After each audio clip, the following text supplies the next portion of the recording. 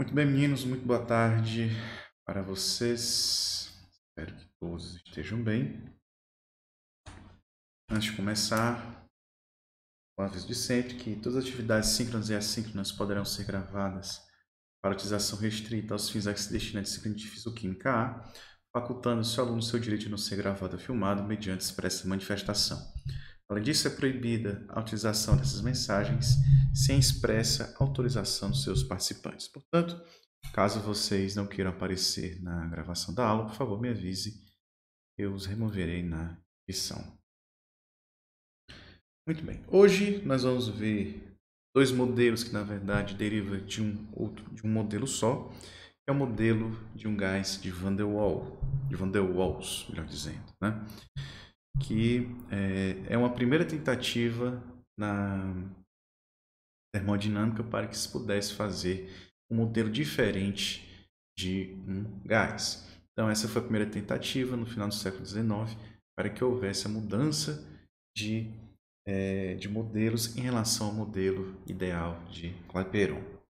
Então, na aula passada, nós vimos o que se tratava, se tratavam as leis empíricas, as leis empíricas dos gases, a equação de Clapeyron, que nós, é, que nós mostramos ser justamente a equação definitiva do gás ideal, ou seja, define o estado tal gás ideal possui.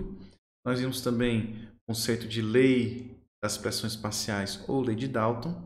Vimos também que experimentalmente nós temos desvios da idealidade e que podemos fazer uma medição inicial desses desvios via fator de compressibilidade. Muito bem. Agora vamos falar sobre o modelo de Van der Waals, que considera tudo aquilo que nós vimos no primeiro dia de aula, quanto, a, quanto às interações intermoleculares e a estrutura química da própria molécula, que não é levada em conta no modelo ideal. Muito bem. Então, considerando a atração molecular, bem como o volume da molécula, ou seja, não somente as interações intermoleculares que nós já vimos, ser derivada. Né? Uma, das, uma, das, um, uma das condições de ocorrer interações intermoleculares é justamente a proximidade da molécula e, por sua vez, a emergência de interações do tipo de poliduzido, de polo permanente ou outros tipos, e a sua estrutura química né, em termos moleculares, né, em termos de compostos de grupos funcionais, de natureza da ligação e assim por diante, que é resumido aí em volume da molécula. Portanto, nós temos essas duas coisas, a atração e o volume da molécula. Considerando isso tudo, Van der Waals sugeriu modificações na equação de Clapeyron. Então, Van der Waals era, se eu não me engano, um físico holandês. A tese de doutorado dele em física foi justamente sobre modificações modelo de, de, de um gás ideal, e é exatamente isso que nós vamos ver hoje. Né? Então, quais foram as premissas dadas por Van der Waals para que ele pudesse modificar a sua estrutura? Primeira delas, as forças de atração permitem mais interações termoleculares e a pressão do gás dentro do recipiente cai. Quer dizer, se um gás ideal ele não interage com uma outra molécula, significa dizer que ele possui uma liberdade muito maior em se movimentar dentro de um recipiente do que um gás real. Porque se as distâncias são altas, ele pouco ou não, não irá interagir com outras moléculas vizinhas, indo simplesmente se chocar no recipiente, tá? do, do, nas paredes do recipiente que a contém. Quando Van der Waals postulou que existe interações intermoleculares é, dentro de um sistema gasoso, Aí o que acontece é que essa liberdade diminui, porque se há interferência de interações de outras moléculas em relação a essa molécula gasosa, então o que, é que vai acontecer? Ela vai se mover menos. É como se é como se você tivesse uma rede, né, uma malha, né, um pozinho fino de ferro e você passasse o ímã por cima, ele vai ser atraído pelo ímã. E aqui é a mesma coisa nós não temos uma atração tão forte quanto uma atração magnética, mas sim uma atração eletrostática. Então, lembrando, lá da química fundamental, é, nós temos aí é, nós temos aí as diferenças de algumas propriedades, algumas propriedades periódicas, como eletronegatividade e tantas outras que definem esse tipo de interação. Então nós vimos ligações polares, ligações apolares, ligações covalentes, ligações iônicas. Então todas elas vão estar dentro do cômpito da, das interações intermoleculares. Dentro do conteúdo de gases não seria diferente, mesmo em considerando íons, porque você pode ter é, formação de, é, de, compostos iônicos né, a baixas pressões, mas também altas temperaturas, como é o caso da região plasmática. Portanto, quando há consideração de interações intermoleculares, consequentemente a pressão dentro do recipiente cai. Então, qual é a nossa primeira conclusão? Num gás real, a pressão é menor do que a pressão em um gás ideal. A segunda premissa é: tendo um volume molecular próprio, os gases não ocupam todo o espaço recipiente e há um espaço chamado de covolume não ocupado por eles. Então, o que significa dizer isso na prática? Significa dizer que existe uma região do espaço no qual dois, é, duas partículas gasosas não vão ocupar o mesmo espaço ao mesmo tempo. Então, esse é o princípio da impenetrabilidade da matéria, quer dizer, você não consegue colocar uma, mesma quantidade de duas quantidades de matéria no mesmo espaço sob a mesma circunstância. Então, como é que seria isso na prática? Então, vamos considerar um modelo esférico dessas partículas gasosas e que, em sendo uma esfera, possui um raio R. Então, nós, nós sabemos, né, pelo princípio da impenetrabilidade, que vai existir um limite físico entre essas duas moléculas. Então, se a gente traçar raios a partir da origem de cada esfera, nós vamos ter aqui um raio nesse sentido e um raio em outro. A soma desses dois raios gera uma outra circunferência imaginária que vai possuir raio 2R. Então, a região na qual você não consegue colocar duas partículas de gás no mesmo local é justamente o co-volume. Portanto, a região que circunda esta área, essa região achurada, é justamente a região de co-volume. Portanto, as moléculas não, não podem entrar no espaço compreendido pelos seus raios. Né? Então, qual é o espaço compreendido pelos seus raios? É duas vezes o raio, né? considerando essas partículas gasosas como sendo uma esfera. E aí o que vai acontecer é que você vai ter uma região que não vai permitir que duas moléculas ocupem o mesmo espaço. Portanto, o volume molar efetivo, quer dizer, o volume de gás por número de mols de, um dado, de uma dada substância, vai ser menor do que o volume considerado pelo gás ideal. Então, isso pode ser, é, isso aí é bastante lógico, você imaginar que se um gás ideal possui um volume tão pequeno que seja, na qual ele pode ocupar todo o espaço do volume do recipiente, então você tem aí uma condição na qual você tem a penetrabilidade dessas partículas, o que não acontece na realidade. Vamos ver é, mais adiante, quando estudarmos teoria cinética dos gases, que esse fato não pode acontecer. Apesar das leis empíricas induzirem a isso, nós vamos ter um fator de energia cinética média que vai mostrar para a gente que, por conta da transferência de momento, quer dizer, quando você choca uma partícula com determinada velocidade, você transfere essa energia cinética para outra molécula. Portanto, não pode haver, né, se essa, essa penetrabilidade dos gases ideais ocorrerem, isso não explica por que existe velocidade média dentro do recipiente e nem mesmo pressão. Você não justificaria a pressão de um gás utilizando o um modelo ideal, né, ou a equação de Clapeyron. Então você consegue fazer um modelo estatístico da, press, da, da pressão de um gás, fazendo essa, essa aproximação de transferência de momento entre partículas. E aqui nós temos um exemplo bem interessante mostrando que por conta do princípio da não penetrabilidade da, da, da matéria, vai existir uma região que as moléculas não podem ocupar simultaneamente, que é justamente o covolume. Portanto, quando nós fazemos um cálculo de volume para o modelo de Van der Waals, nós dizemos que o volume efetivo nada mais é que o volume da o volume do gás menos B, que é um fator de covolume. Então esse fator de covolume é justamente a área na qual a área imaginária entre duas partículas gasosas e uma não vai ocupar o espaço da outra. Esses valores, como vocês podem imaginar, são valores constantes, portanto, são valores tabelados, não precisa memorizá-los.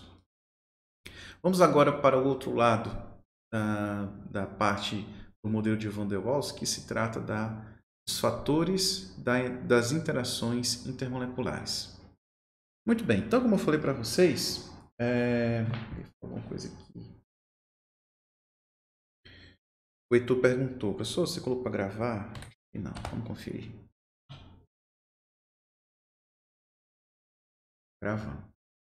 Tinha vermelho. Pergunta do Rian. Professor, ainda não compreendi o conceito com volume. Podia voltar? Claro. Tá. Muito bem. O que, é que você não entendeu, Fiote?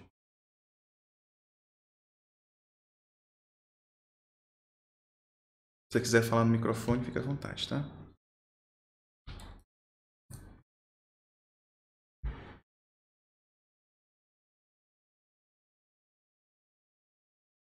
Não estou lhe ouvindo.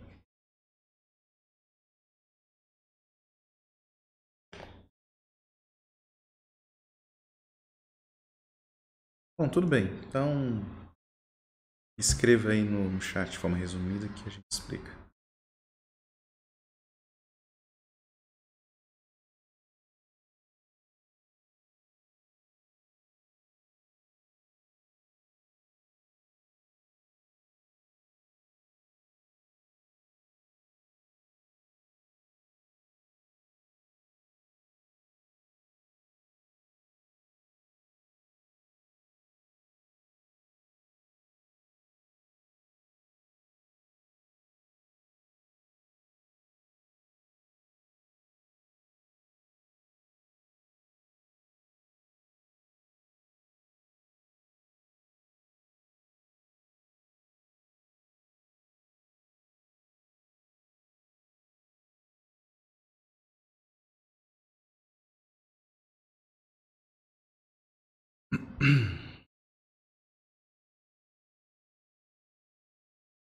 Bom, Fio, é, deixa,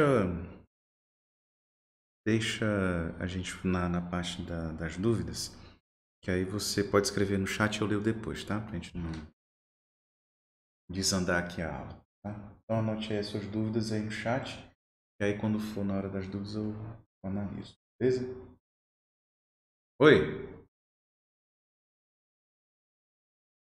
Hum, pode falar. O que é que você não entendeu?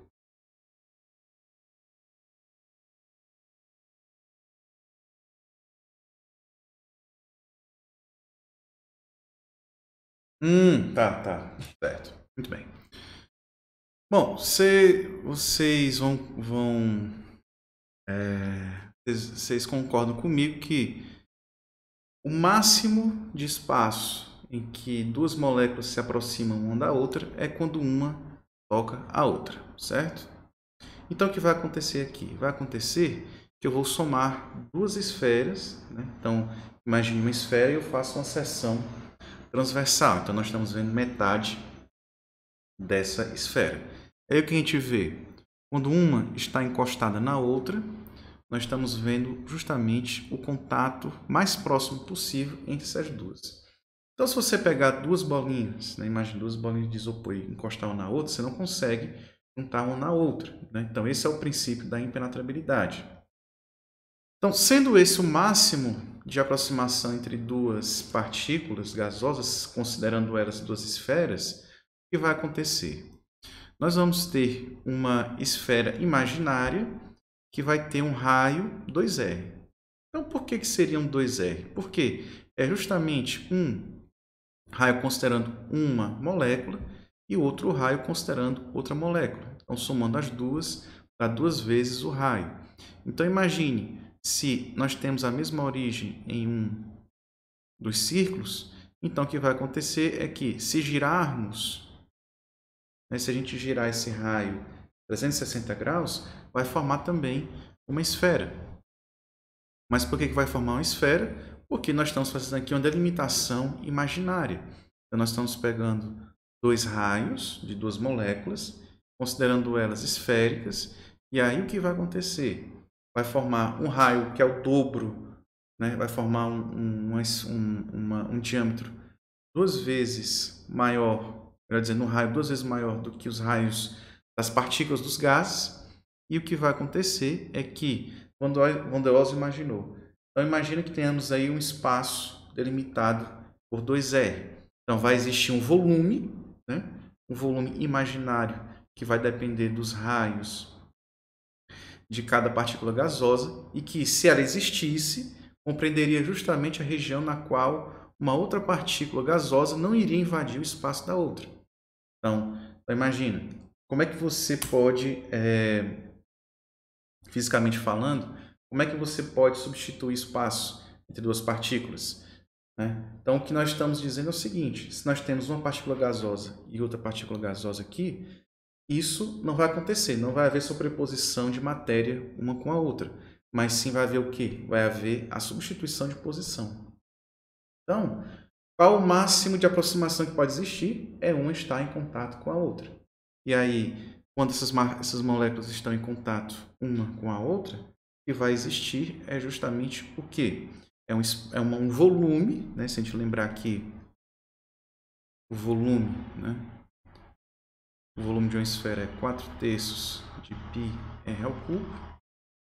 Então, nós temos o volume da molécula 1, nós temos o volume da molécula 2 e nós temos o volume do o volume que é chamado de excluído,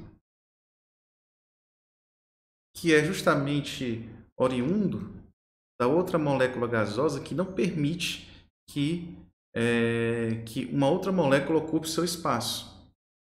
Tanto nós chamamos essa região na qual a, a impenetrabilidade da matéria ocorre de volume excluído, que é justamente uh, o que o Van der Waals considerou, o Van der Waals considerou ao calcular o qual volume. Portanto, fisicamente falando, é isso que é o volume excluído. Entendi?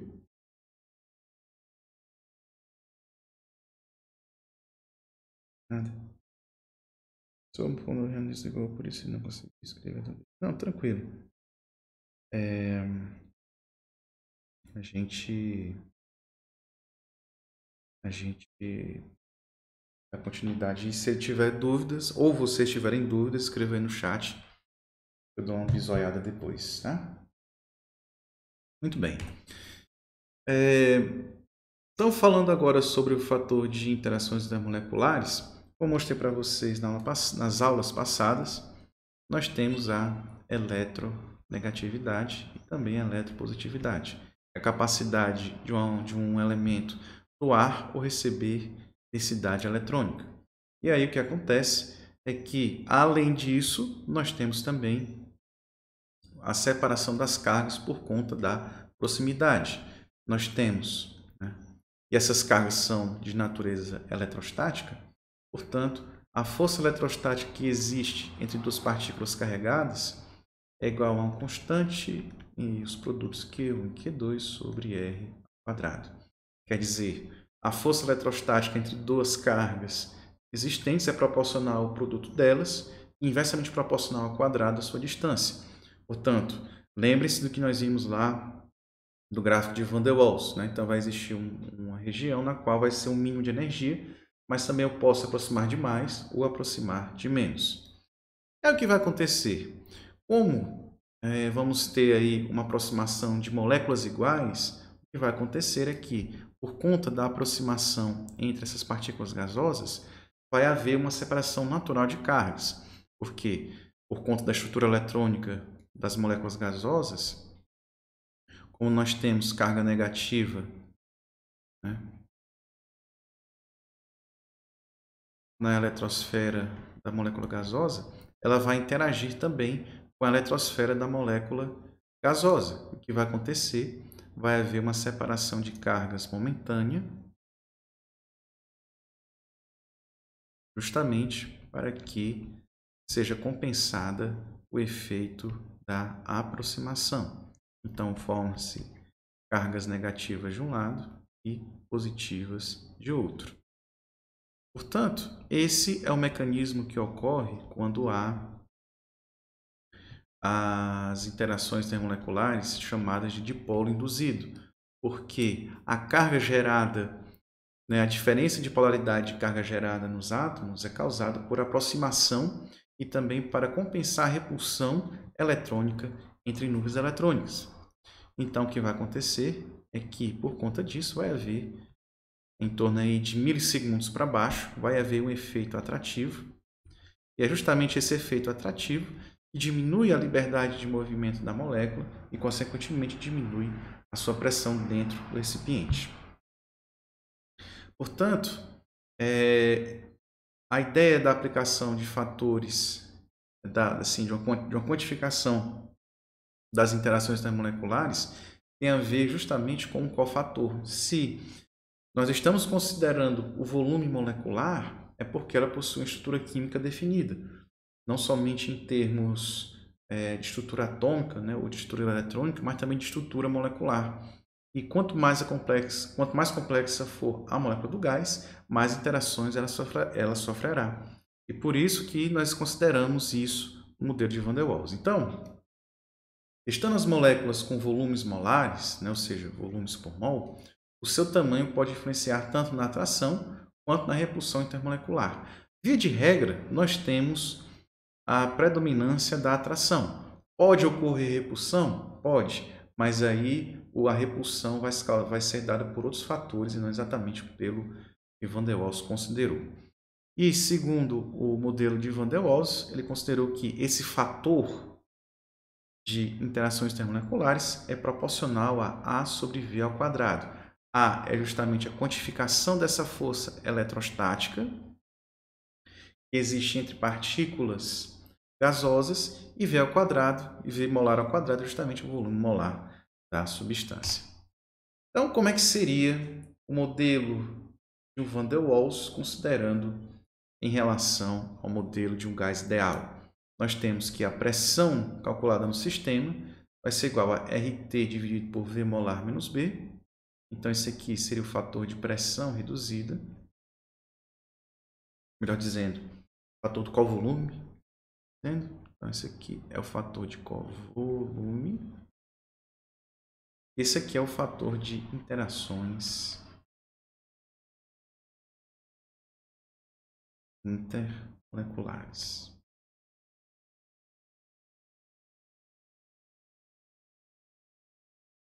Então, as unidades de ar têm a ver com pressão e volume molar, né? como nós temos aqui A sobre V ao quadrado. Se o volume molar for metros cúbicos por mol, então se a gente elevar ao quadrado, fica metro a sexta por mol ao quadrado. E o fator B do covolume é, é unidade de covolume também, ou seja, metros cúbicos por mol. Prestem sempre atenção nas unidades, porque nós já vimos que uma ATM equivale a aproximadamente a 10 a quinta Pascal. E um litro equivale a aproximadamente a 10 a menos 3 metros cúbicos. Lembre-se que nós temos unidades Pascal metro segundo para o valor de R e de ATM para litro para essas unidades. Prestem atenção às unidades, verifiquem se há coerência antes de qualquer coisa. Então, primeiramente, vamos pensar no seguinte exemplo.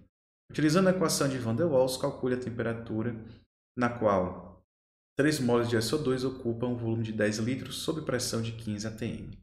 Então, deu os valores de A e B. Mais uma vez, os volumes de A e B são volumes que são, são quantidades que são tabeladas, então não há necessidade de memorizar, sempre serão dados para vocês nas provas. Então, vamos aqui anotar os dados da questão. Então, nós temos N igual a 3, 3 mol, volume 10 litros, pressão 15 atm. Então, a gente já sabe 15 atm. Então, nós, tem, nós, nós temos aqui as unidades atm litros. Então, o R que nós vamos utilizar é 0,082 atm litro mol Kelvin. Então, está perguntando qual é a temperatura. Então, basta que eu aplique a equação de Van der Waals. P é igual a RT molar menos B menos A sobre V molar ao quadrado. Então, a primeira coisa a fazer é calcular o volume molar, V barra. Então, quem é V barra? V sobre N. Portanto, o volume molar é 10 dividido por 3. Isso vai dar uma dízima periódica, então 3,33 litros. Litros por mol. Então, a segunda parte já é soltar os dados da questão dentro da equação. Então, pressão nós temos é igual a 15, o R é 0,082 vezes temperatura é que eu quero procurar. Então, nós temos o volume molar 3,33 menos o valor de B, que é dado bem aqui, ó, 0,054 menos A, que é igual a 6,71 dividido pelo volume molar ao quadrado, 3,33 ao quadrado. Então, é que nós vamos ter? 3.33 menos 0.054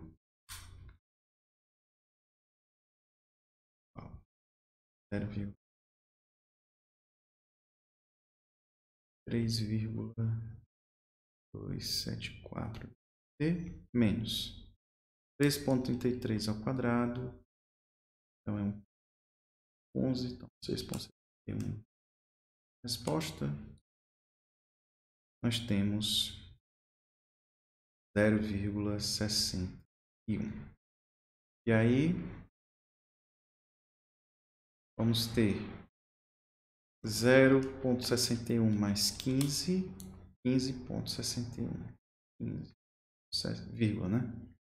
61 igual a 0,082 dividido por 3,274 vezes T. Então, T é igual a 3,274 15,61 dividido por 0,082. Então, nós temos aqui temperatura aproximadamente igual a 623,5 26 Kelvin. Portanto, é dessa forma que a gente faz a substituição dos valores dentro da equação de Van der Waals. Oi.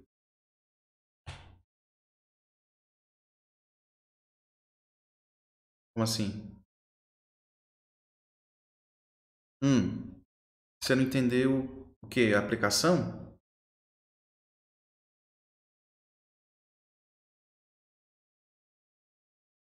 Nós falamos isso na aula passada.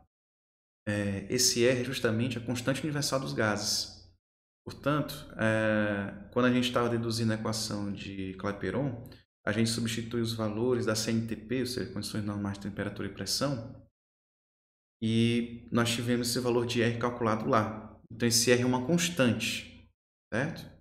Então, o valor de R que eu sempre falo aqui é um valor que sempre vai acompanhar os dados de termodinâmica porque é um valor que sempre é recorrente, um valor que sempre vai existir.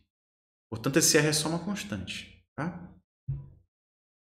Uma constante que você vai utilizar a depender das unidades. Então, dá uma olhada na aula passada que eu expliquei quais são as diferenças né, e como isso se aplica quando você tem unidades diferentes de pressão e volume, certo? Então, dê uma conferida na aula de, da semana passada que eu falei disso, certo?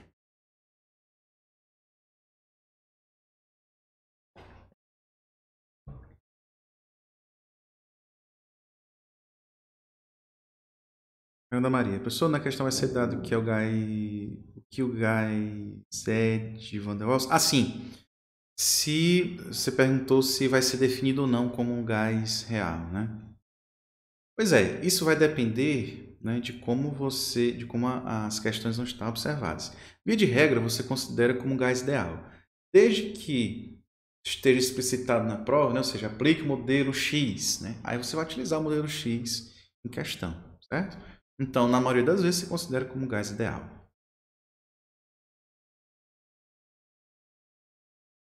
Mais alguma coisa, gente? Dúvidas? Ian tá por aí?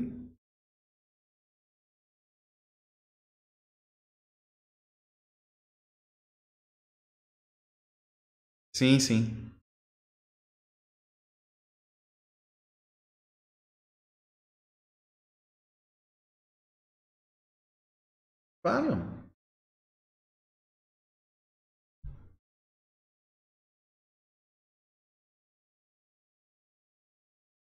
São as duas coisas, certo? Como é, nós estamos falando aqui de modelo, na verdade são as duas coisas que acontecem, né?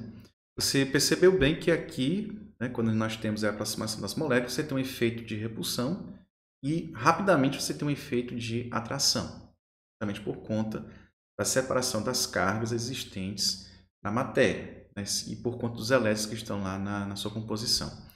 Porém, você não está errado, são as duas coisas que ocorrem simultaneamente. Porém, é, para efeito de modelo, de simplificação do modelo, a gente não considera é, essas duas coisas acontecendo simultaneamente. Né? Pode acontecer uma coisa ou a outra. Mais uma vez, seu raciocínio não está errado, mas para efeitos de modelo, é, a gente não aplica dessa forma, certo? Isso, eu acho que essa pergunta vai ser melhor respondida né? quando a gente tratar de teoria cinética e distribuição de Maxwell-Boltzmann, porque aí vai ficar mais clara que, na verdade, o que nós temos aí não é somente pressão, volume, temperatura e número de mols, mas sim temos outros conceitos microscópicos envolvidos, como velocidade média, né, transferência de momento, distribuição de velocidades. Todas essas coisas estão para além do modelo do gás ideal porque nós estamos aqui colocando outras grandezas que até mesmo o modelo de Van der Waals não considera. Então, tudo aqui é a questão do modelo aplicado. Nós vamos ver na próxima aula que existem outros modelos de gases que a gente pode aplicar e também a gente pode determinar os valores das constantes de A e de B também. Né? Então, é, como eu falei, né, isso depende do modelo. Certo? Nada. Mais alguma coisa? Mais alguma pergunta que vocês gostariam de fazer? Fiquem à vontade.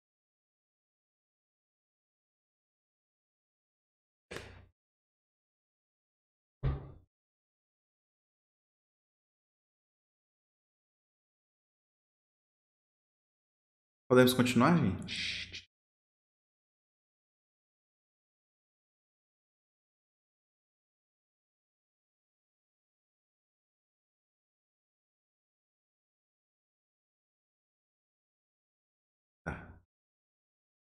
Claro, se vocês já sabem disso, se vocês precisarem perguntar alguma coisa sobre a matéria, né? fiquem à vontade de perguntar. Muito bem, vamos agora falar do fator de compressibilidade em função desses termos do modelo de Van der Waals. Nós vimos na aula passada que a forma que temos para avaliar o comportamento de um gás é justamente o fator de compressibilidade. Então, nós já vimos que o fator de compressibilidade é a razão entre volumes. Quais são esses volumes? O volume molar de um gás medido àquela situação dividido pelo volume do gás, considerando ele de forma ideal. Então, a gente sabe que o volume ideal é, é a razão entre P sobre RT. Então, nós temos que Z é igual a PV barra sobre RT. Agora, vamos considerar o seguinte. Vamos considerar a, o valor, né, melhor dizendo, o modelo de Van der Waals e vamos substituir dentro da expressão do fator de compressibilidade. Depois de um, algum algebrismo, a gente chega nessa expressão aqui. Ó. Por que eu coloquei dessa forma?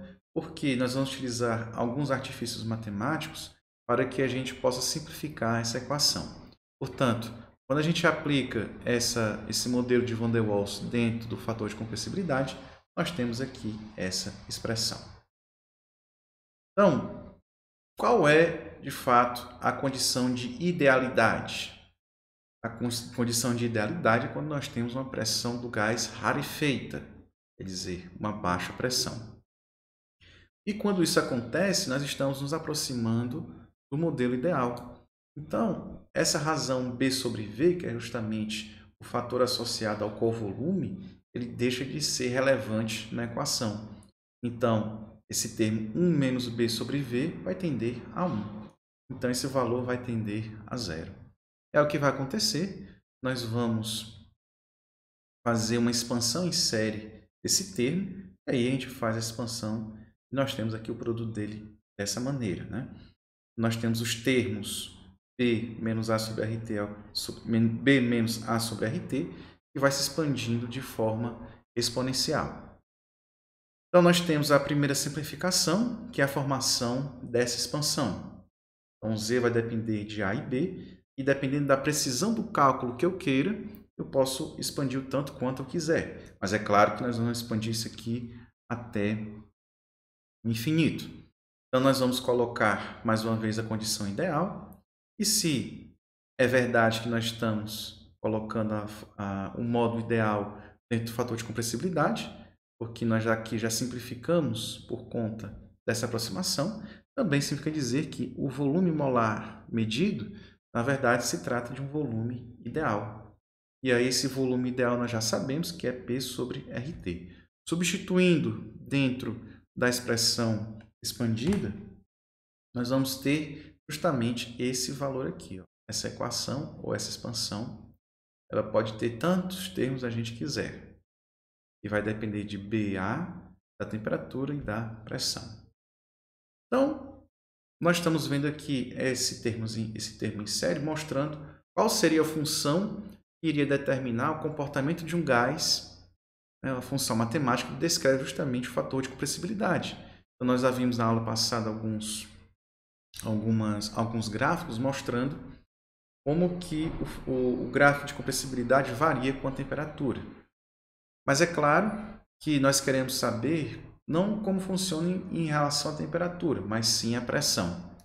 E por conta disso, nós vamos fazer uma, um cálculo diferencial. Vamos aplicar uma derivada, porque nós queremos saber como Z, que é o fator de compressibilidade, varia com a pressão. Uma vez que a pressão é que é determinante para que, haja, que tenhamos diferentes modelos né, ou diferentes formas de observar o gás. Portanto, quando a gente deriva Z em relação a P, a gente sai derivando todos os termos em P. E aí você obtém essa expressão aqui. dZdP até constante vai possuir esse valor. Né? Então, o que significa dizer dZdP a t constante? Significa dizer que vai ser o cálculo da tangente das curvas de compressibilidade função da pressão e vai indicar para a gente qual é a tendência do gráfico, se é positiva, se é negativa ou nenhuma. Então, o que vai acontecer? Como é que a gente faz para avaliar? Oi?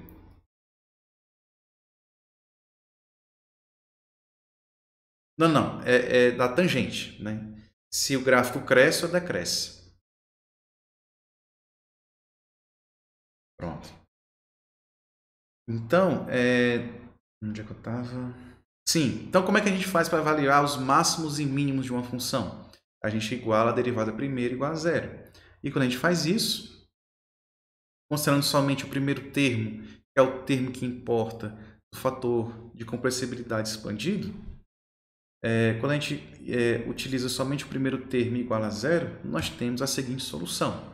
1 sobre RT que multiplica B menos A sobre, sobre RT é igual a zero. Claro, nós estamos aqui tratando de temperaturas que sempre serão diferença de zero, porque nós não estamos trabalhando no zero absoluto. Portanto, necessariamente, o valor da temperatura sempre será um valor maior do que zero. Se t é diferente de zero, o que, a única condição na qual t, é, a equação vai ser igual a zero? Quando tivermos essa expressão igual a zero. Então, nós temos aqui na análise da tangente da curva três condições. Nós temos uma condição na qual esse termo é maior do que zero, esse termo é igual a zero e esse termo é menor do que zero. E aí, quando b menos a sobre rt é maior do que zero, nós estamos numa situação na qual b é igual a a sobre rt. Qual é o sentido físico dessa equação? Nós temos aqui a predominância do volume. Quer dizer, o volume molecular, né, a região do covolume, ele está sendo preponderante para que o fator de compressibilidade seja maior do que 1. Lembre-se que a condição de um gás ideal em termos de fator de compressibilidade é quando Z for igual a 1. Portanto, se B é maior do que A sobre RT, quer dizer que o volume predomina sobre as interações termomoleculares. Então, quer dizer o que fisicamente falando? Que as moléculas estão num choque muito grande por conta do aumento da pressão. Então, nós temos aqui curvas das, de de nitrogênio. Então, observe aqui a curva em 200 Kelvin, que é essa daqui que eu vou tanger em vermelho. Então, observem aqui. Quando a temperatura, na verdade, quando a pressão for superior aí, sei lá,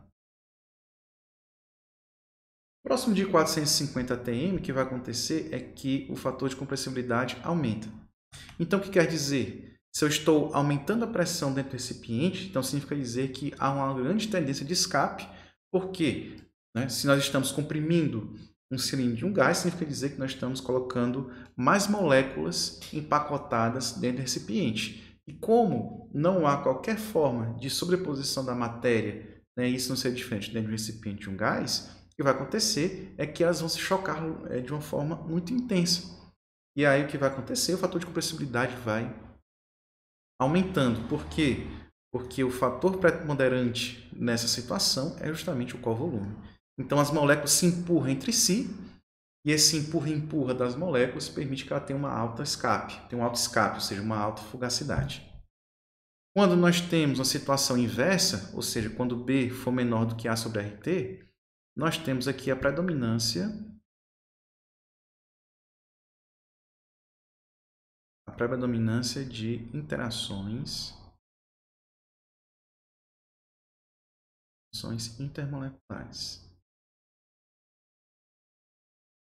Aqui a situação inversa. Então, vamos aqui abaixo de 400 atm, mais ou menos. Nós estamos aliviando a pressão sobre o sistema gasoso. Então, o que vai acontecer?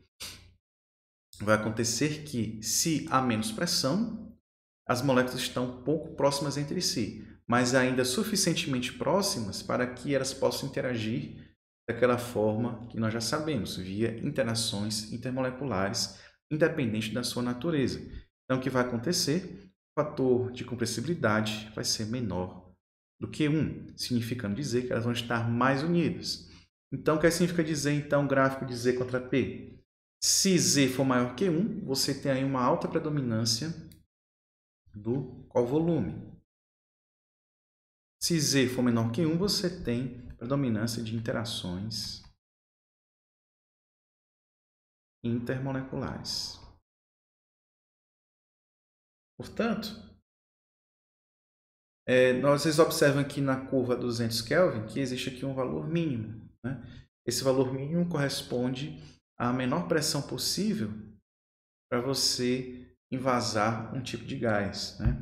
Então, essas curvas de compressibilidade já são muito conhecidas dentro da indústria, porque mostra para o caboclo, né? mostra o seguinte, rapaz, eu não preciso colocar um recipiente a 1000 Kelvin com perigo de explosão a 900 atm para invasar, sei lá, 50 metros cúbicos de um determinado gás. Eu posso utilizar baixa pressão e baixa temperatura para obter o invase dos mesmos 50 metros cúbicos, 50 metros cúbicos. E por isso que na indústria você tem a larga utilização desses diagramas, porque também isso envolve custos. Né? Então tem um custo menor aqui né? porque as moléculas estão mais próximas naturalmente, né? ou seja, sem muita pressão por conta das interações termomoleculares, do que propriamente dentro de altas pressões ou até mesmo altas temperaturas. Então, quando, quando nós analisamos as tangentes positivas e negativas de, é, de DZDP, nesse gráfico, nós temos essas duas interpretações. Nós temos uma terceira, que corresponde a uma temperatura chamada temperatura de Boyle. Quando nós consideramos é, que a temperatura, é, perdão, que a tangente é igual a zero, nós vamos chegar no valor TP. E esse TB considera justamente a razão A sobre B, que nos vai dar uma temperatura que vai ser justamente a condição de temperatura na qual o gás se comporta idealmente. Então, nós chamamos TB de temperatura de Boyle. Então, o que significa dizer isso? Significa dizer que se eu atinjo a temperatura de Boyle de uma dada substância gasosa, ela vai ter uma faixa de pressão na qual ela poderá se comportar idealmente. Então, se vocês observarem bem, ó, nós temos aqui, consigo desenhar. Nós temos aqui, ó, esse, esta, deixa eu mudar de cor. Nós temos esta curva aqui.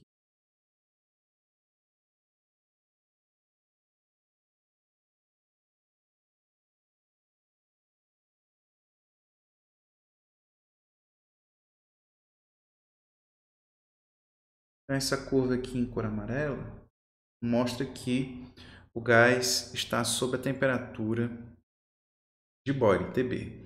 Então, observe que nós temos aqui uma certa região do gráfico que é praticamente coincidente sobre Z igual a 1. Portanto, o que isso nos diz? Nos diz que é possível utilizar o gás como sendo um gás ideal numa região de pressão muito maior do que prevista pela própria pelo próprio modelo de Clapeyron. Então, observem que pela análise de Van der Waals, a gente consegue ter aí um, melhora, um, um melhoramento né, significativo do modelo de gás de, de, do gás ideal e considerando justamente os parâmetros do modelo de Van der Waals, A e B. Portanto, se isso fosse um gás ideal, praticamente não existiria temperatura de Boiling, porque não haveria interação, então pelo modelo de, de, pelo modelo de, de gás ideal, praticamente qualquer temperatura, qualquer pressão, você teria o gás comportando-se de forma ideal. E não é o que acontece quando a gente olha na realidade.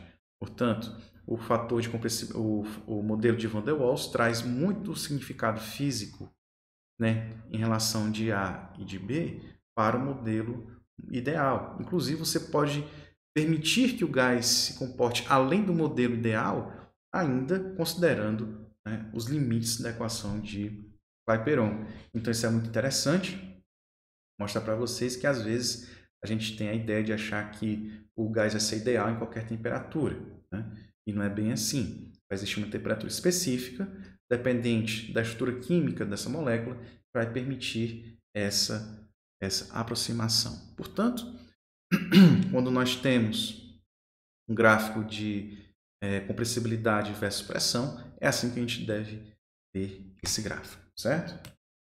Dúvidas, perguntas, alguma coisa que vocês gostariam de perguntar? Fiquem à vontade.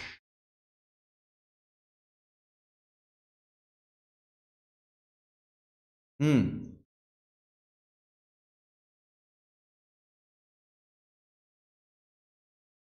Claro, mais homem, é claro. É... Então, olha só. A e B, na verdade, falei nessa aula hoje, né? Então, deixa eu pegar aqui. Falei. Não, não, meu chove. É a nervo. Então, olha só. Por que, que nós falamos de A e de B no modelo de Van der Waals? Porque nós temos é, muitas limitações dentro do modelo de um gás ideal, do modelo de Clapeyron. Então, foi Van der Waals o primeiro, dentro da termodinâmica, a propor um modelo que pudesse dar mais sentido físico à equação dos gases. Então, um deles tem a ver com as interações termomoleculares e a outra tem a ver com o volume da molécula. Então, isso vai de encontro com as próprias condições do modelo ideal, porque O modelo ideal considera um gás rarefeito, de baixa pressão, uma partícula de gás que seja desprezível, que não interaja com a outra e que seja mais distante possível. É, e por conta disso, essa distância intermolecular gigante permite que não haja qualquer tipo de interação. Mas o modelo de Van der Waals considera o contrário. A proximidade das moléculas nos dá um tipo de interação intermolecular que a gente já conhece, como é, modelos, é, tipo de interação do tipo eletrostáticos, cargas parciais, que fazem parte dos, dos compostos iônicos e covalentes. Então, nós temos ligação de hidrogênio, de polo permanente, de polo induzido, interações de London, né? e assim por diante. Então, tudo isso é considerado, na parte de interações moleculares, é considerado pelo modelo de Van der Waals. E também, como nós temos já o aumento da complexidade do modelo, também a gente precisa considerar as propriedades químicas do gás. Portanto, nós vamos considerar o gás como se não uma partícula, uma partícula absolutamente divisível, né? como se fosse um átomo gasoso. Nós vamos considerar justamente por conta da estrutura eletrônica que é comum nos elementos químicos, a gente vai também considerar, é, nós vamos considerar também essa forma de observar a molécula. Então, com toda a sua estrutura eletrônica, com ligações químicas, e que isso vai ocupar um lugar no espaço.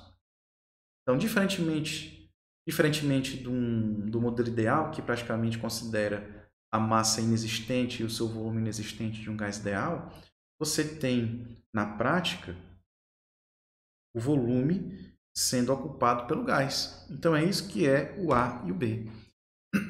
Quando nós estamos falando de covolume, né, do, do volume excluído ou coisa assim, nós estamos considerando que ah, o princípio da, da impenetrabilidade da molécula ocorre também com partículas gasosas, porque o máximo que pode acontecer de contato entre duas partículas de gases, ela é, um, é uma encostar na outra. É justamente quando nós temos aqui o toque entre duas, entre duas partículas gasosas. E vamos considerar que essas partículas gasosas sejam esféricas. Então, ela possui em relação ao seu centro possuem raios. Então, se a gente imaginar que a soma dos raios dessas partículas esféricas fizessem uma esfera de tamanho 2r, é que nós teríamos aqui, nós teríamos aqui um espaço imaginário entre esses, essas partículas gasosas, na qual uma partícula não ia ultrapassar o espaço da outra. Melhor dizendo, uma não ia se sobrepor à outra. Caso houvesse isso, você estaria empurrando a molécula de um lado para o outro. Então, esse volume que não é ocupado pelo, no, no espaço pela partícula do gás, nós chamamos de volume excluído. E aí o que acontece é que esse fator de qual volume, o volume excluído, é considerado na equação de Van der Waals. E qual é a consequência disso? Você acaba por diminuir o volume, porque você tem menos partículas de gases é, existentes dentro do recipiente. E quando você tem a, o fator de interações moleculares, o que acontece é que, como essas cargas são cargas elétricas, né, são cargas eletrostáticas, elas obedecem, obedecem à lei de Coulomb. Quer dizer, a força de atração entre partículas ou de repulsão é proporcional ao produto das cargas e inversamente proporcional ao quadrado da distância. Então, você deve imaginar que quanto mais próximas forem as partículas gasosas, mais intensamente sentirão esse tipo de força. E aí o que acontece é que há um tipo de interação intermolecular que é do tipo de polo induzido, porque as cargas elétricas que existem na eletrosfera dos elementos do, das moléculas vão forçando a separação de cargas, porque além do princípio da impenetrabilidade da matéria, você tem também o princípio da eletroneutralidade, quer dizer, a soma das cargas líquidas de um sistema químico tem que ser igual a zero. É o que acontece você tem a aproximação né, de um, sei lá, de um, uma partícula gasosa possui elétrons na sua camada de valência em outra molécula que também possui elétrons de valência. O que vai acontecer é que pela repulsão você puxa uma parte dos elétrons de um lado, mas só que forma uma região positiva causada pelo movimento dos elétrons para o outro lado, afastando-se dos elétrons da outra molécula.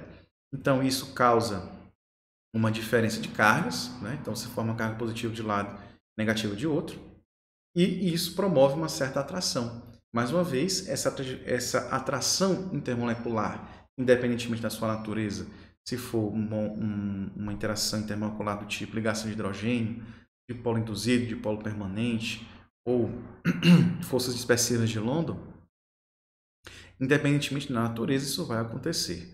E aí, mais uma vez, esse volume, perdão, essa, essa pressão, ela é diminuída porque as moléculas vão estar mais próximas. E aí a gente calcula esse valor via essa expressão, A sobre V molar ao quadrado. Então, esse é o fator de Van der Waals de pressão, na qual você tem essa diminuição de pressão causada por interações intermoleculares. Aí segue tudo aquilo que eu já falei até agora sobre o fator de compressibilidade, certo?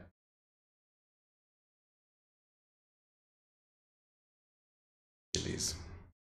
A Maria falou, eu estou com um pouco de dificuldade de interpretar o gráfico. Certo. Você fala esse gráfico aqui, né? Do fator de compressibilidade. O que, é que você não entendeu?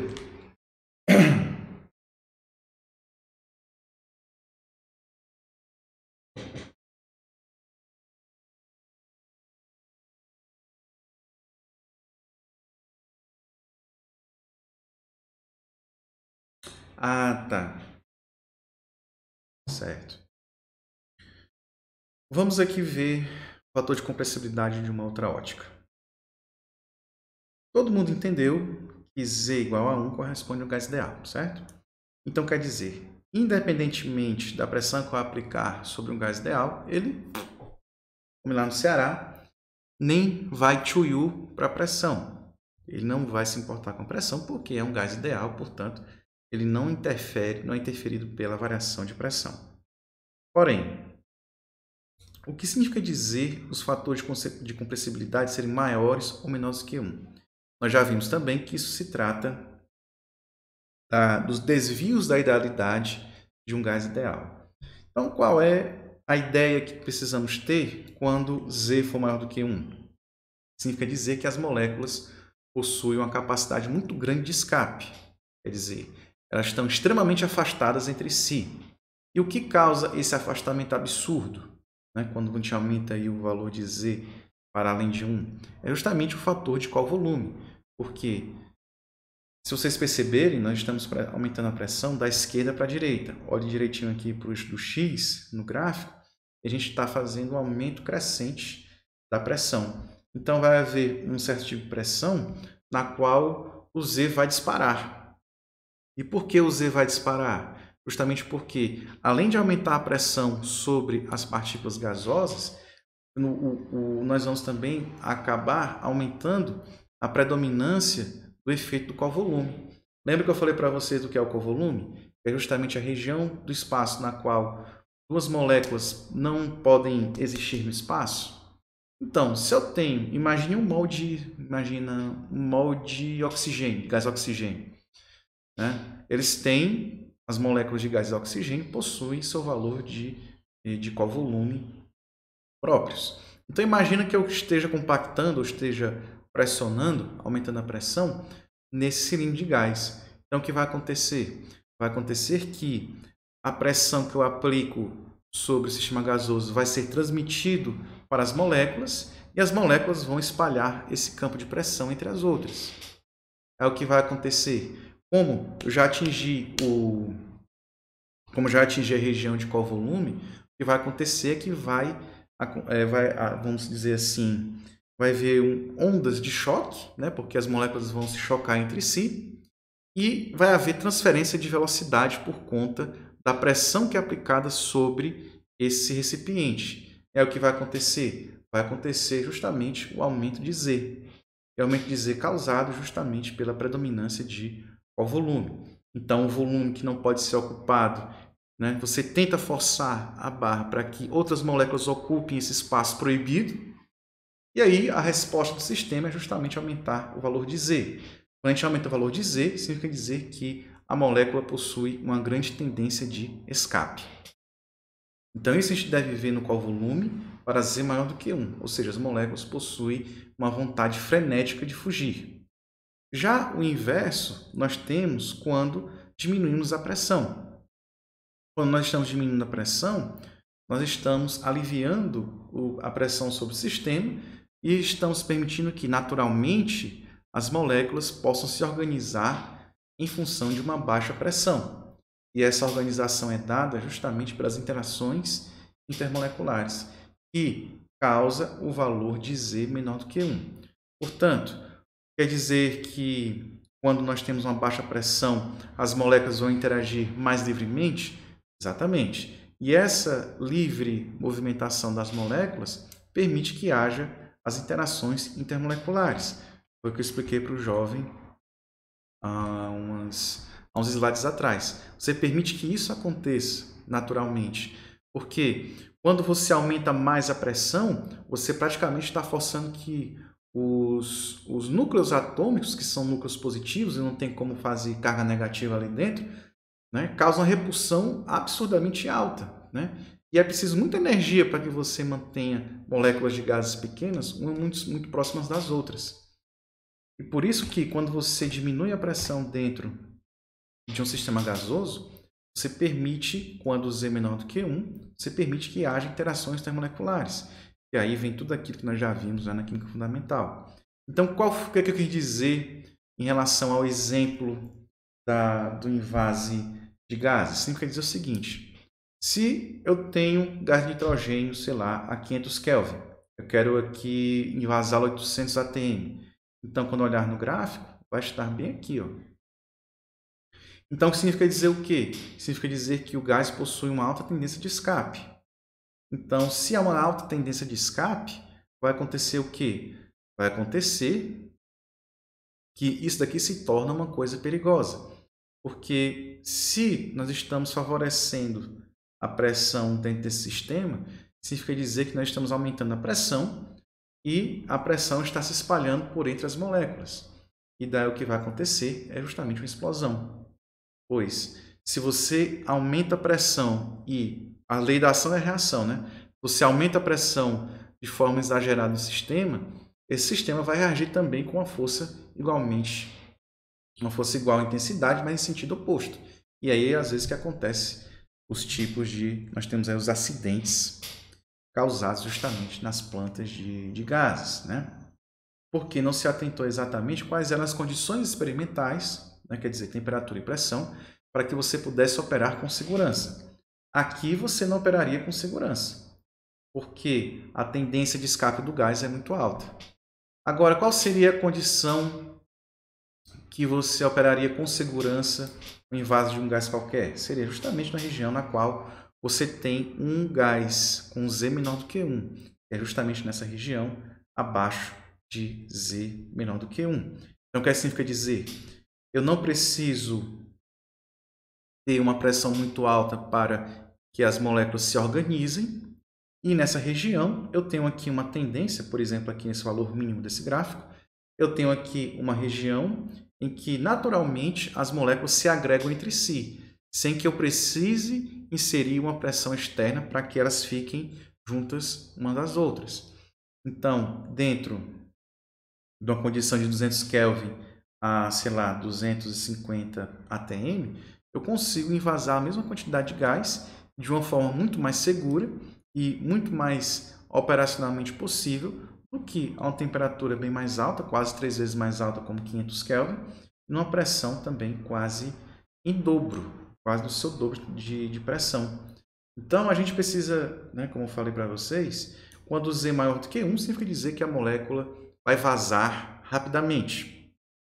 Se Z é menor do que 1, significa dizer que a molécula não vai vazar tão rapidamente. Quer dizer, ela vai se agregar com mais facilidade.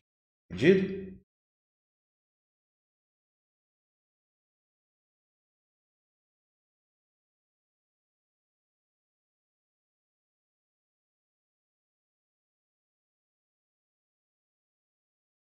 Pois é, você confundiu pressão com o fator de compressibilidade. Né? O 1 aqui é justamente o valor do fator de compressibilidade. Pois é, mas é isso mesmo. Você pode olhar, né? não precisa ser necessariamente o mínimo, né? porque você tem vários, né? você tem trocentos gráficos diferentes para fator de compressibilidade, mas não necessariamente precisa ser o mínimo. Né? Se você conseguir identificar uma região na qual já possua um valor abaixo de Z menor do que 1, já está valendo. Certo? Nada. Mais uma pergunta, gente? Podemos continuar? Ou vocês têm mais alguma pergunta?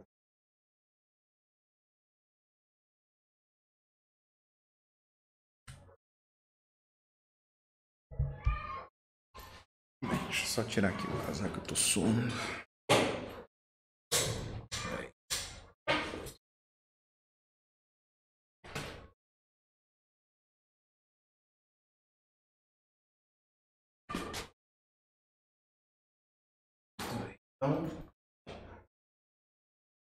Simbora continuando. Muito bem. Então, o que é que nós temos aqui? Nós temos uma situação semelhante ao que nós vimos na aula passada sobre as isotermas de Van der Waals.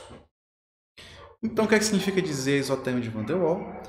Significa dizer justamente como é um diagrama PV, pressão, volume, não utilizando um modelo ideal, mas utilizando o um modelo de Van der Waals. Nós vimos na aula passada que, na verdade, a isoterma de um gás real, ela não possui máximos e mínimos. É simplesmente um valor que ele é constante e depois decai. Porque numa isoterma real existe a condensação do gás. Então, na verdade, nós temos aqui um equilíbrio de fases. Então, esse equilíbrio de fases esse equilíbrio de fases é justamente o que? Vamos supor que seja, por exemplo, gás nitrogênio. O gás nitrogênio, uma situação gasosa, entraria no equilíbrio químico formando N2 líquido. E como os gases, melhor dizendo, os, as substâncias líquidas e sólidas ou substâncias de fase condensada não, não variam em função da pressão, então na verdade o que nós temos no isoterma real é quando nós temos a formação da condensação, a não variação nem do volume nem da pressão. E aí o que acontece depois que a isoterma continua seu curso normalmente, porque aqui você sai da região líquida depois se torna vapor. Né? E aqui o vapor lê-se né, quando você tem uma, uma, parte do equilíbrio contendo líquido e vapor, e, e o líquido e o gás. Né? Então o vapor seria justamente a soma dessas duas contribuições. Porém, como ainda o modelo de Van der Waals ele é um tanto incompleto, mas ainda assim permite que a gente observe o seguinte. Nós vimos na aula passada e a temperatura pode influenciar diretamente sobre essas interações, sejam intermoleculares, sejam elas de qual volume. Nós vimos agora também isso. Então, nós temos a temperatura T3 que corresponde a uma isoterma ideal, que é justamente o que? Uma, uma curva parabólica, ou seja, uma parábola. Que é comum de uma substância né, de, um, de, um, de duas grandezas inversamente proporcionais. O problema é que quando você vai abaixando a temperatura, você chega numa região na qual você não consegue distinguir qual fase é. É justamente a região da uma região chamada região crítica. Né? Então, se nós estamos tratando de, de uma temperatura na qual a gente não enxergue diferença de fase, é justamente a temperatura crítica. E essa isoterma mostra para a gente essa região aqui. Ó. Nós temos justamente essa informação. Então, o que significa dizer nesse ponto? Significa dizer que qualquer variação de temperatura, pressão ou volume, ou eu posso simplesmente vaporizar a amostra, tornar, né, voltar a um gás, ou eu posso precipitá-la em forma de sólido ou líquido, ou seja, eu posso formar uma fase condensada. E quando nós abaixamos mais a temperatura, aí nós temos justamente a formação desse cara aqui, ó. no isoterma de Van der Waals, nós teríamos esse comportamento aqui. Então, o que é que, vocês, o que, é que a gente pode perceber? A gente percebe aqui que nós temos uma região na qual nós temos uma pressão característica nesses três pontos. Nesse ponto, nesse ponto e nesse ponto. Em seguida, nós temos também volumes correspondentes a cada ponto dessa isoterma. Então, o que, é que a gente pode fazer aqui? A gente pode fazer uma modelagem matemática relativamente simples para determinar quais são esses volumes que estão dentro desse intervalo da isoterma de Van der Waals. Lembrando que nós temos aqui uma soma de duas contribuições. Nós temos aqui os, o modelo ideal da isoterma em verde, nós temos aqui a isoterma real em vermelho. Portanto, nós vamos determinar via algumas expressões matemáticas, a gente vai determinar aqui qual seria a, as grandezas que nós consideraremos como críticas para determinar a região de transição entre ideal e real. Quando nós estamos tratando do estado um gás, vai existir uma situação que é chamada de metaestabilidade, que é justamente essa região que vai é, entre a região considerada ideal e a região considerada real. E qualquer modificação suave das condições experimentais, você pode ir ou você pode deslocar o equilíbrio para uma região mais estável. Então, nós chamamos isso de metaestabilidade. Então, qual é a região metaestável do, dessa isoterma? É justamente essa daqui em laranja. Porque não tem nem gás e não tem nem líquido.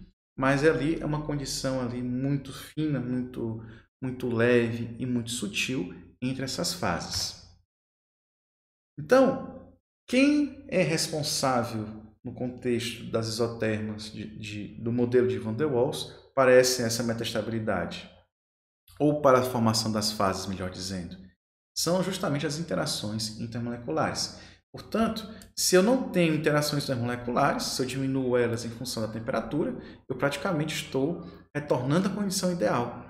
Porém, se eu estou diminuindo a temperatura, se eu estou diminuindo a movimentação molecular, né, se eu favoreça as interações intermoleculares em detrimento do seu tamanho, né, ao seu volume molar, eu vou estar, pelo menos, formando uma fase. E não necessariamente precisa ser uma fase líquida, pode ser uma fase sólida também.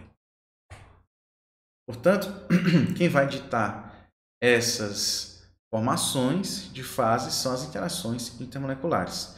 Portanto, quando não houver diferença entre fase líquido e vapor nenhum equilíbrio, nós dizemos que o sistema atingiu o estado crítico.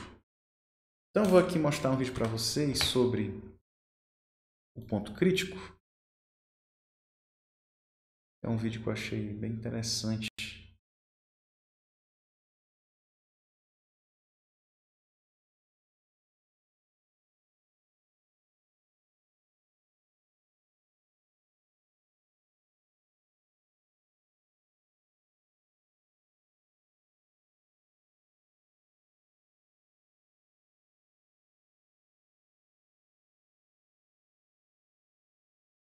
Mas eu vou procurar aqui rapidinho. Vocês.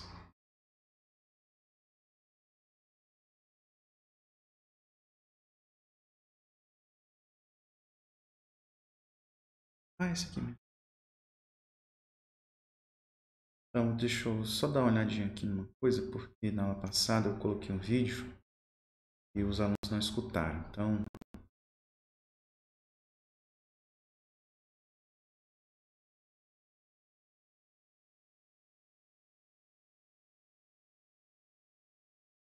Bom, é para estar com o áudio ligado, então vou aqui, antes da gente continuar,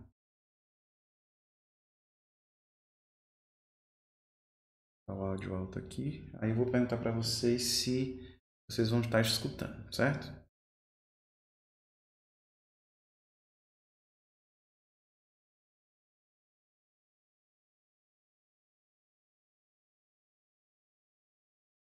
Tá.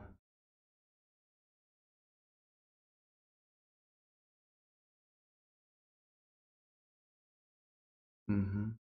Tá. Então deixa eu ver o que eu posso fazer.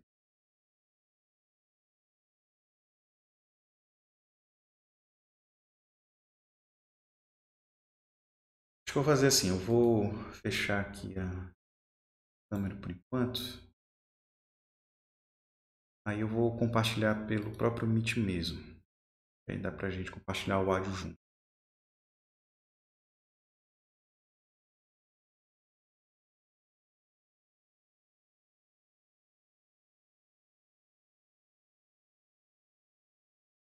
Então agora deve estar aparecendo aí.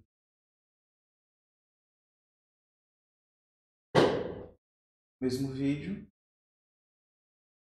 Agora vamos ver se toca.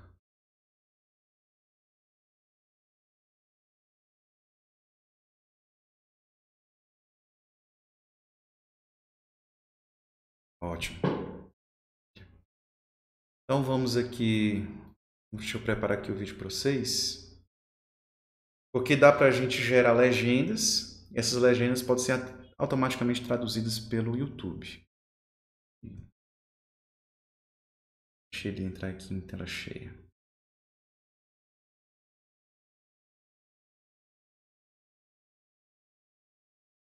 Então, aqui estão as legendas. E aqui a gente configura para traduzir automaticamente. Aqui. O EBR.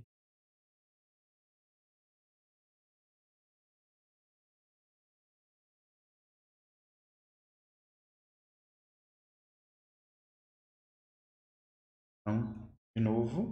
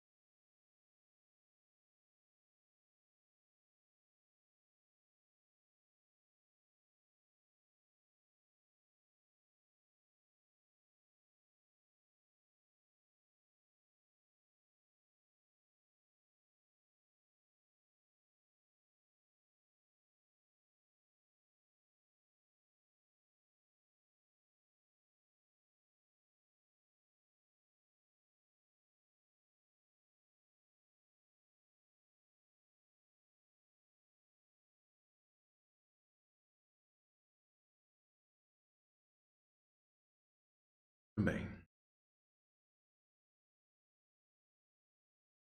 Então nós vimos aí na prática como que é, a gente consegue modificar as propriedades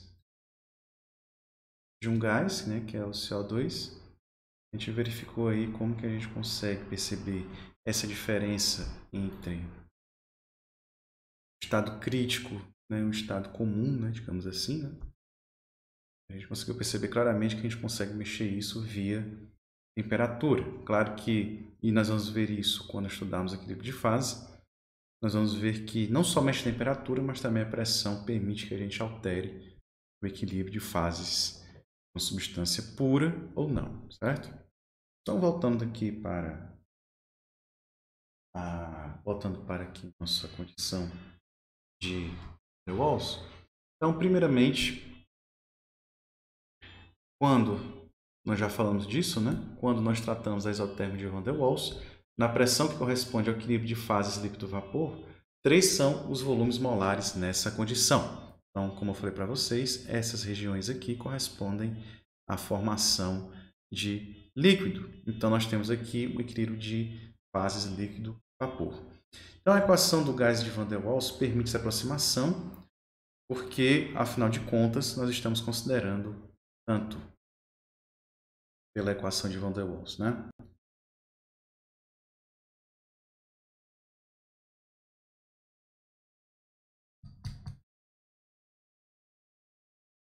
gravar aqui a dor e volta aqui a vida. Pronto.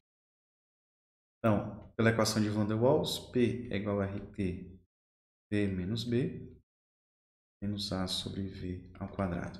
Portanto, a modelagem de Van der Waals permite a situação de equilíbrio químico entre líquido e vapor ocorra durante, uma, é, um processo isotérmico. Mas a pergunta é, como os fatores de Van der Waals influenciam nas isotermas de gases reais? E é aí que a gente vai entrar com algumas considerações. A isoterma TC, que corresponde à região de temperatura crítica, lembra uma função em terceiro grau com raízes iguais. Então, se vocês lembrarem lá do cálculo, se tiver uma função cúbica na qual ela passa pela origem, nós temos realmente algo parecido com isso daqui. Então, isso significa dizer que nós temos aproximadamente uma função cúbica cujas raízes são iguais.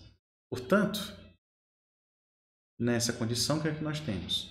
Uma função cúbica pode solucionar as raízes da função quando a pressão, né, ou seja, a pressão do sistema for igual à pressão crítica. Né, se nós temos uma temperatura crítica, nós temos uma pressão crítica. Portanto, nós podemos pensar essa equação como sendo uma equação de terceiro grau clássica, na qual nós temos três raízes distintas entre si.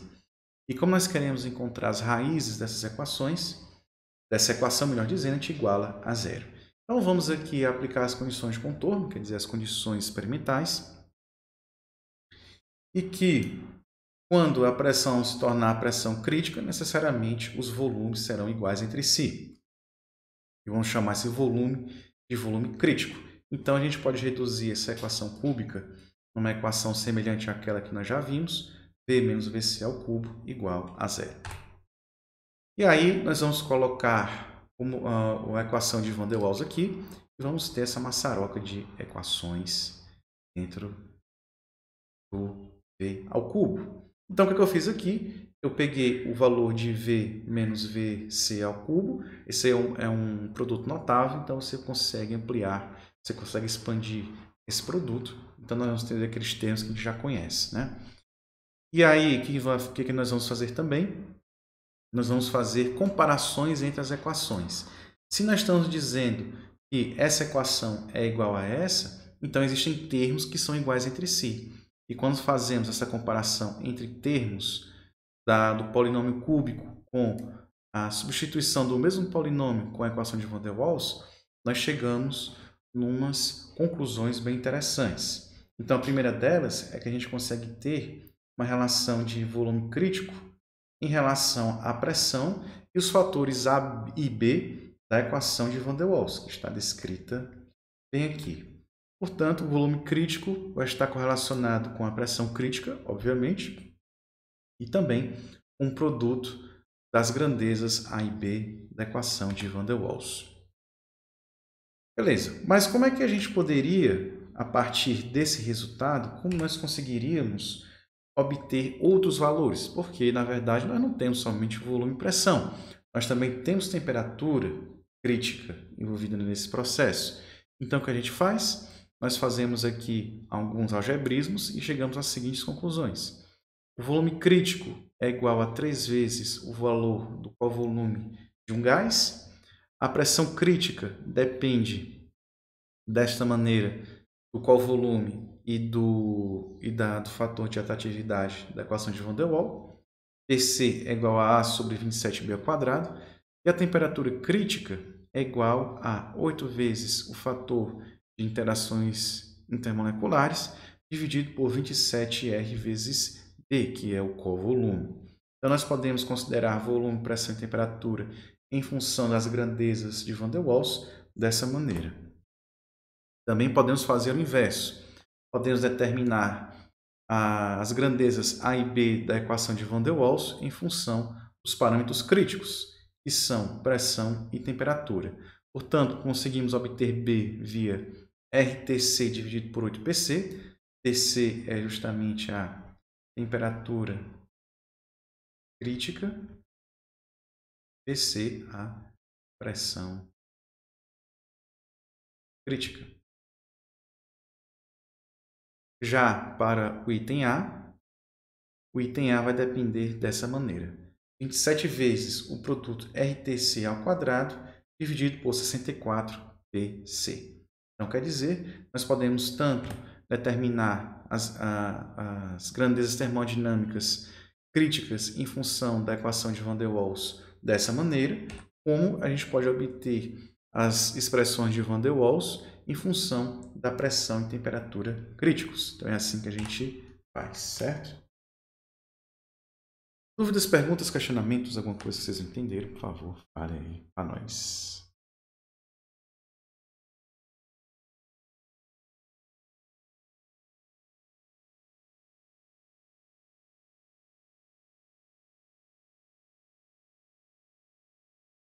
Podemos continuar?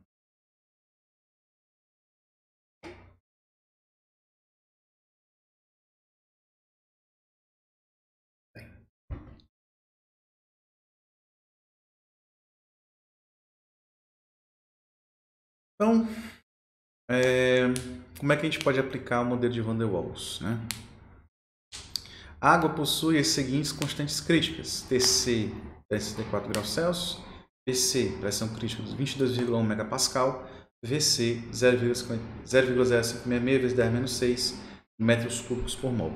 Calcule os valores de A, B e R correspondentes utilizando a equação de Van der Waals.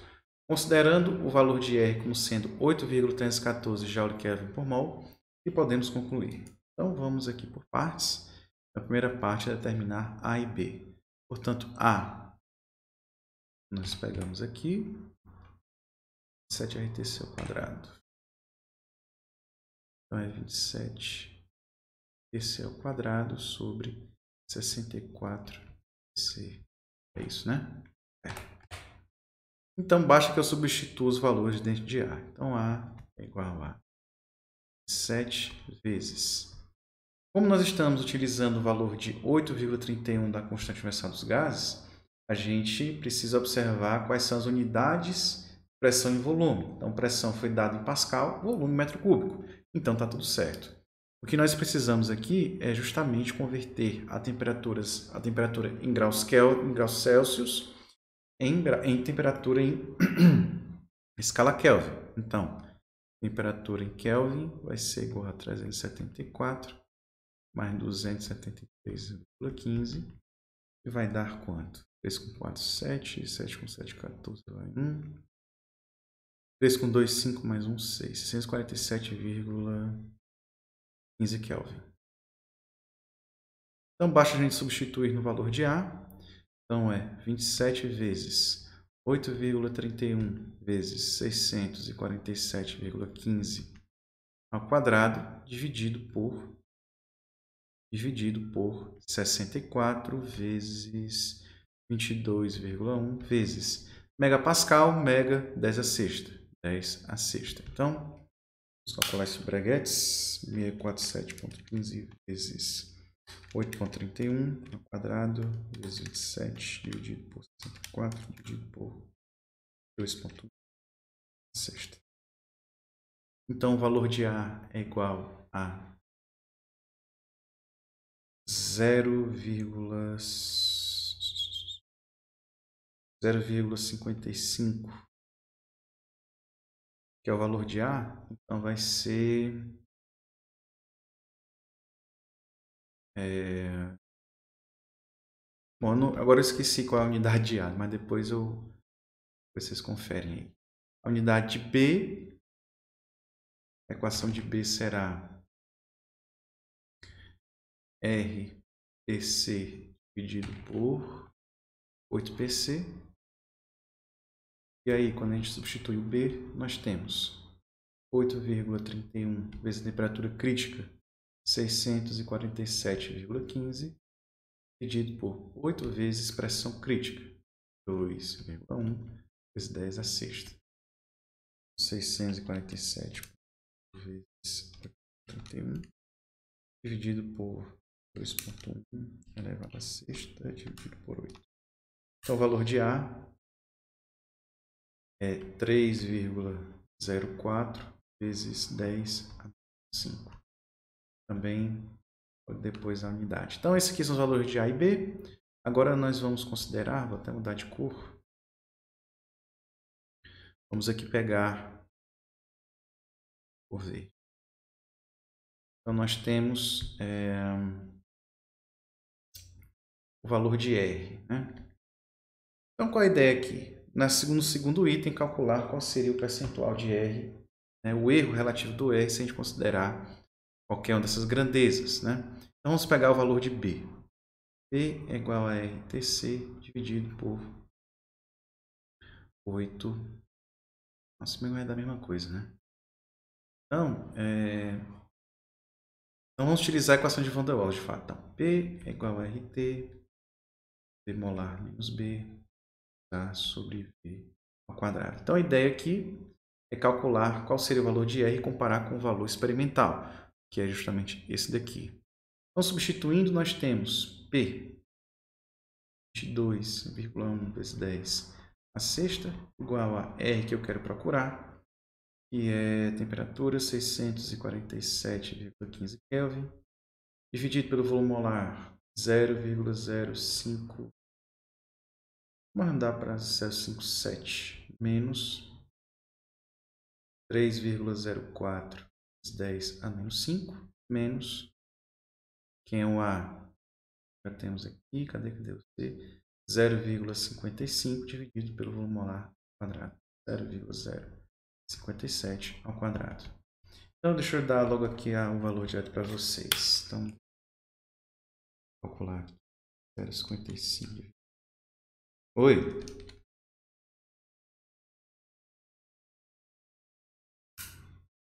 Onde?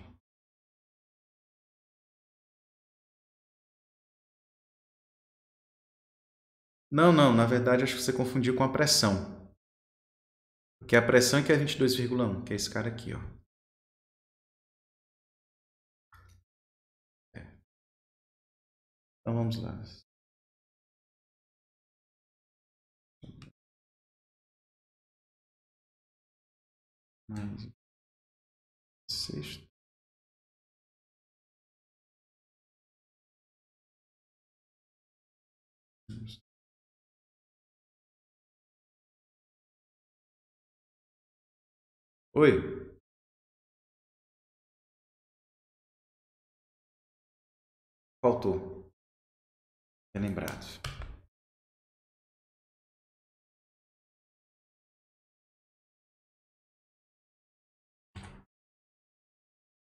Faltou, minha jovem.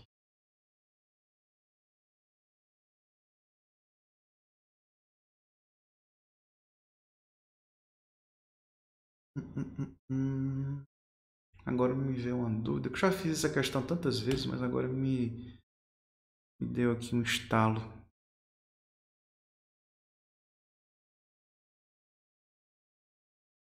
Bom, eu prometo para vocês, vou botar bem assim, ó, resolver.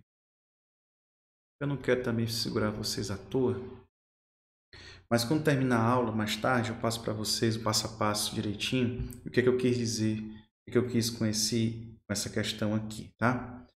Para a gente não perder tempo, já são 13h40, falta mais uma coisinha de conteúdo para mostrar para vocês, que eu acho que é mais importante. Então a gente pode deixar a calculadora para depois, tá? É, tudo bem, gente? Tem aqui dúvidas, perguntas, questionamentos? Né? E não acontece somente nas provas, né? Você perceberam que isso também é na, nas aulas, né? Então, tudo bem, gente? Entendido aí essa coisa aí da, das interações do A e do B com a temperatura e pressão críticos?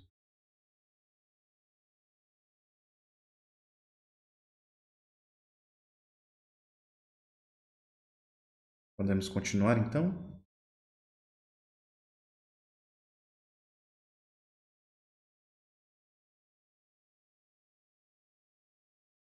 Tudo bem. Se vocês tiverem algum problema, né, vocês me falem que a gente, a gente fala. Então, ó, uma outra contribuição de Van der Waals é justamente a lei dos estados correspondentes. Então, o que, é que significa isso? Apesar do modelo de Van der Waals já permitir um grande desenvolvimento no comportamento real dos gases, né, como não podia deixar de ser, ainda era insuficiente para explicar o estado crítico. Por quê? Vocês irão ver que no cálculo de R, cálculo de R vai dar um erro de 50, pelo menos 50% de diferença no erro que já é no, no valor que já é estabelecido. Então ainda nós temos desvios do modelo ainda significativos. Sendo assim, e já consciente disso, Van der Waals introduziu um conceito de grandeza reduzida, quer dizer, que é uma divisão entre duas grandezas experimentais. Qual é a, a, a ideia disso? É justamente você não depender de modelos é, de terceiros para que você consiga validar seus resultados. Isso é importantíssimo porque, às vezes, o, a pessoa que desenvolveu aquele modelo possui, é, conscientemente ou não, possui muitas limitações ou, ou até mesmo muitas omissões do, do modelo que isso acaba gerando muitas, muitos problemas de aplicação.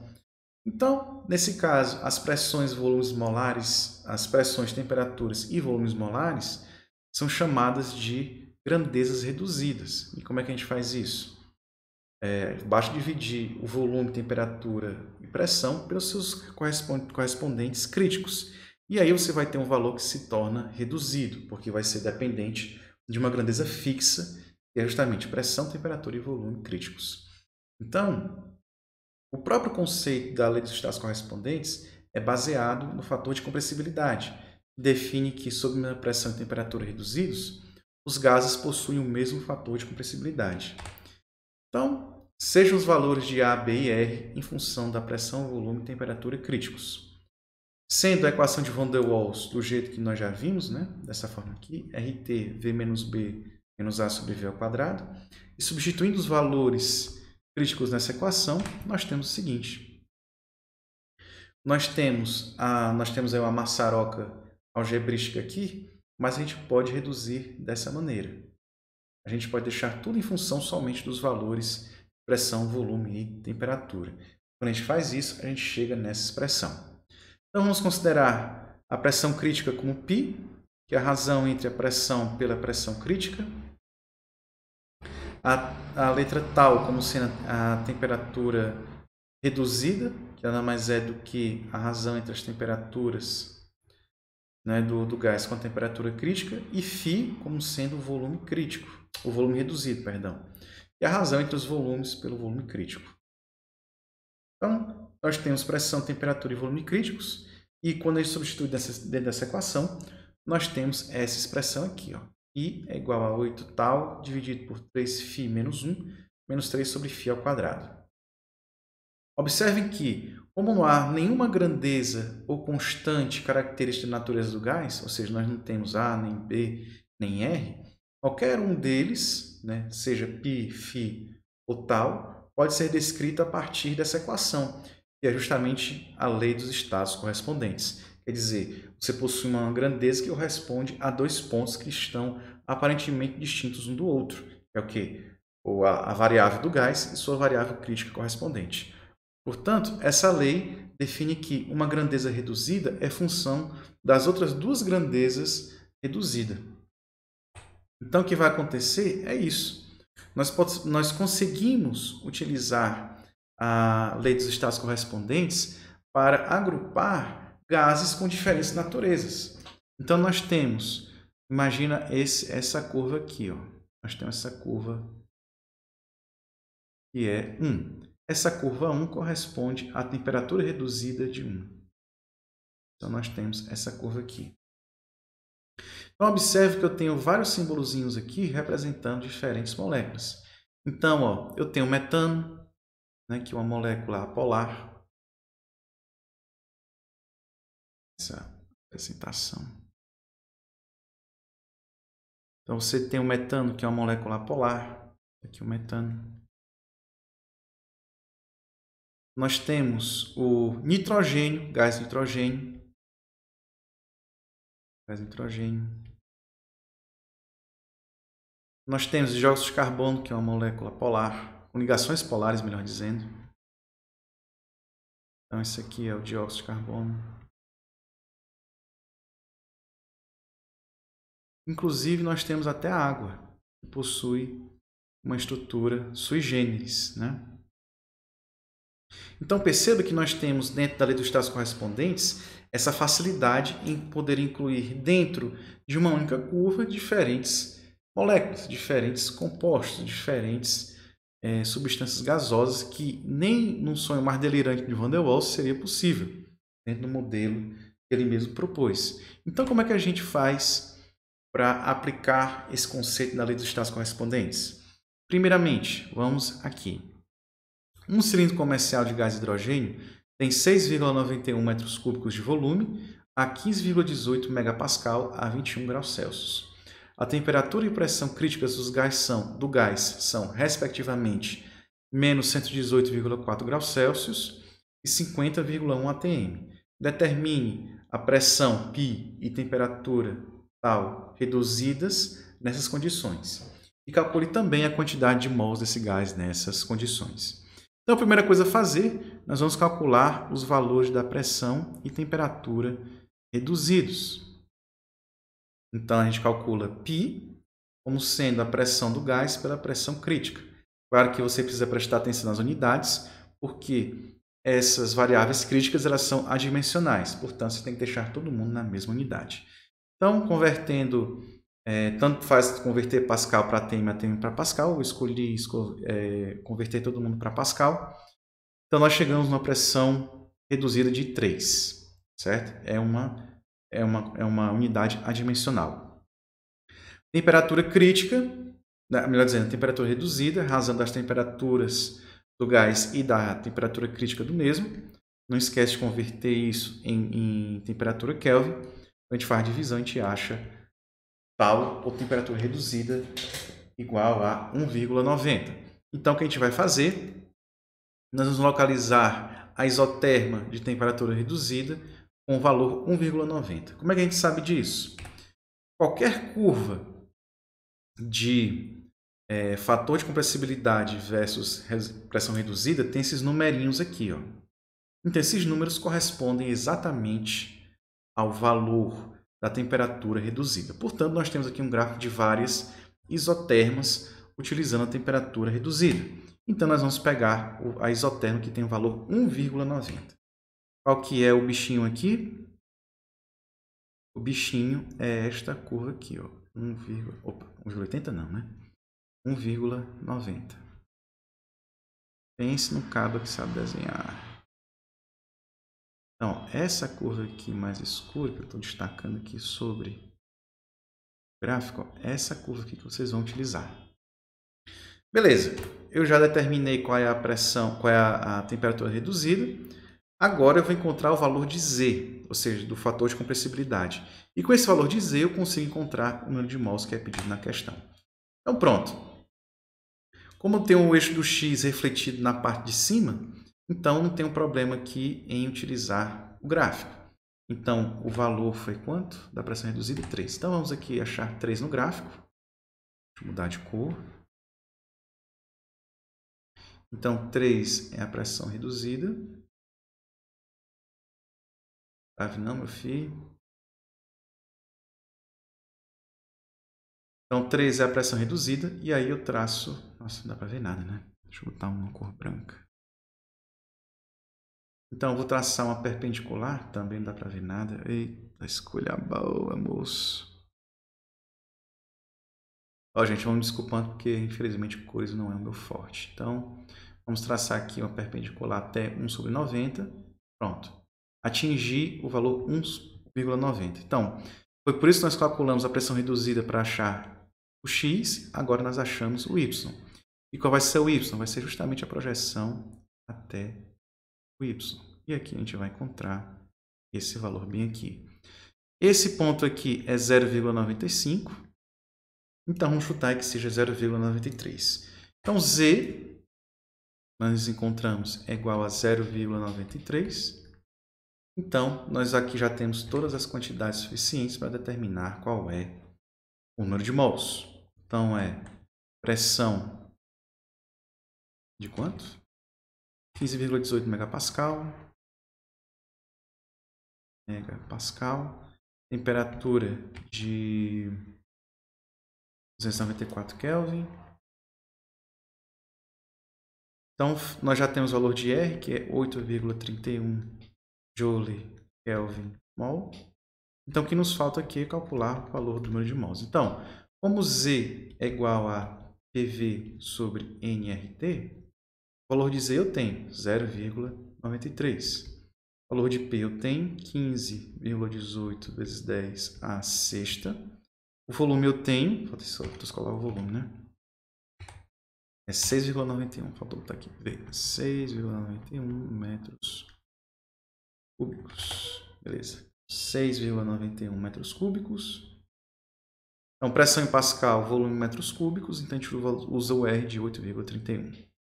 Então, N é o que eu quero achar, o R é 8,31 vezes a temperatura de 294 Kelvin.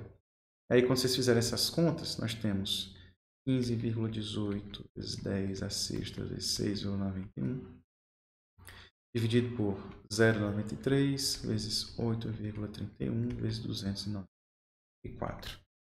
Então, se vocês fizerem essas contas aí, então nós temos 0,93 vezes 8,31 vezes da memória, 15,18 elevado a sexta, 6,91, divide pela memória. Isso mesmo. 4,62 vezes 10 a quarta mol. Só conferir essa conta de novo. Totalmente 3 vezes 8,32, 4 por 15,18 elevado a sexta, dividido por 6,9. Isso mesmo. Então, dentro dessa quantidade de 6,91 metros cúbicos, nós temos aqui essa quantidade de mols, né, que é 4,62 vezes 10 a quarta mol. É uma quantidade grande porque nós estamos considerando metros cúbicos. Então, na verdade, nós temos 6 mil litros, porque cada metro cúbico equivale a mil litros, tá certo? Dúvidas? Usei, gente? Perguntas, questionamento?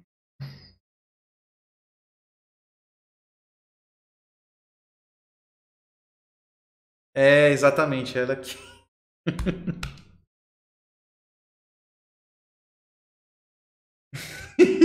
Não, jovem, desculpa, é a força do hábito. É a força do hábito.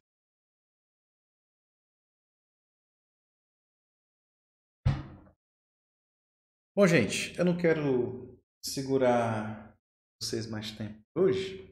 Já deu, né? Então, na próxima aula, nós vamos falar sobre os outros modelos de gases, né, que é muito comum dentro da engenharia química.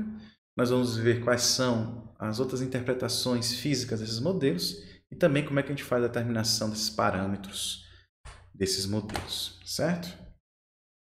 Vamos aqui interromper a